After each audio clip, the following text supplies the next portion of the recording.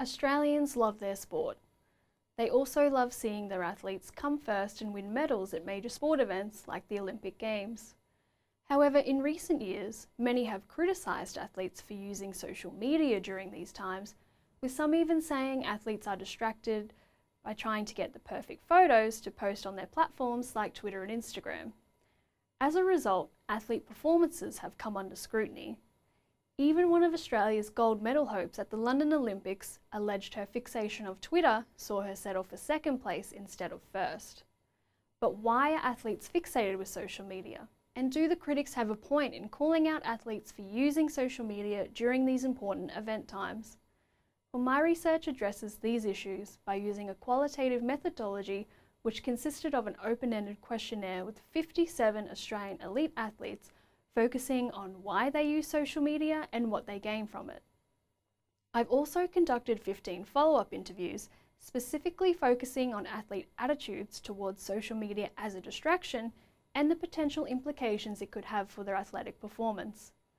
So far the results have been surprising and reveal that like their abilities, athletes are diverse and can experience social media differently. But so far, a number of things have become apparent.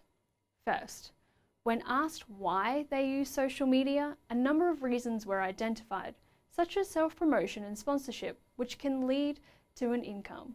But interestingly, the primary reason athletes appear to use social media during events is to actually communicate with their family and their friends, which in contrast to criticism, can actually make them feel more relaxed in a stressful competitive environment.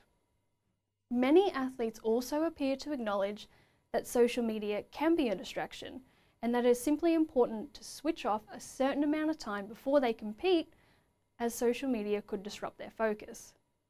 But other athletes continue to use social media into the late hours the night before and on the day of their competition. But during these times, they may come across negative comments and messages directed at them, which could have a negative impact on their mental state and in turn affect their performance later on. So in summary, Social media can affect each athlete differently, and it is important for athletes to find a good balance in order to reap the benefits, but also just know when to switch off. After all, major sport events can be a once in a lifetime opportunity for athletes, and no athlete should miss out on a medal simply because they were trying to get the perfect photos when they probably should have been focusing on competing.